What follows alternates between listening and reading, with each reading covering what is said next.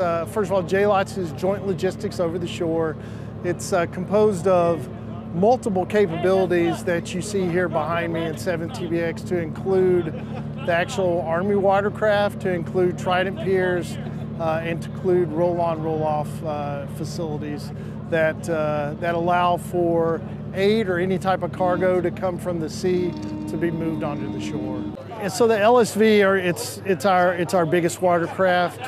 Um, and the LCU, as I would, it's our medium watercraft. So a log logistic support vessel is the LSV and the LCU is the landing craft utility.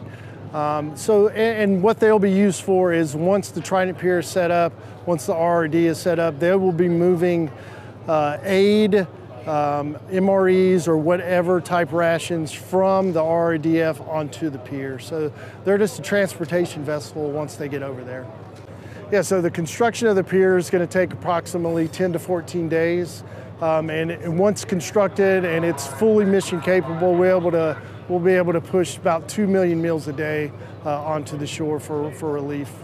I just say I'm so proud of the soldiers because they're so trained to do this mission, and I just want to thank all the families uh, for the sacrifices that they're making to support the soldiers while they're deployed. Yeah, so the pier construction, um, it's a it's a fairly simple process, but it, it, at the same time is very complex and dangerous.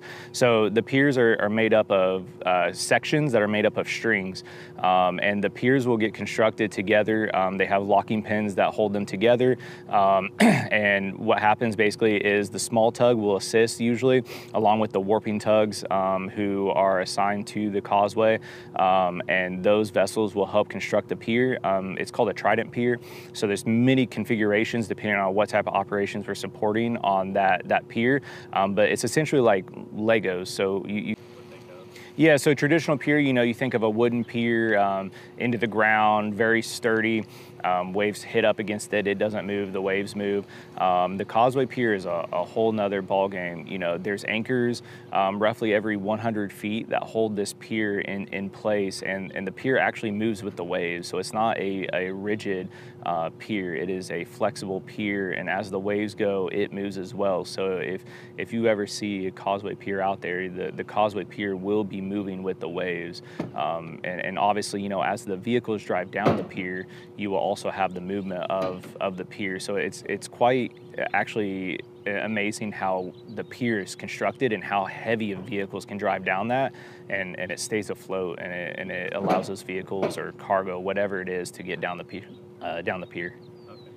Yeah, so it's a little mixture of everything, right? So the crews are, are like a family, right? You might hear that a lot um, in other places or, you know, talked around, but it, I don't think it gets stressed enough that when you're underway, you really are a family. You know, when, when you get out there on these boats, um, there's no one else there to, to watch your back. It, it's, it's each of you guys watching each other's backs and making sure that the mission is, is successful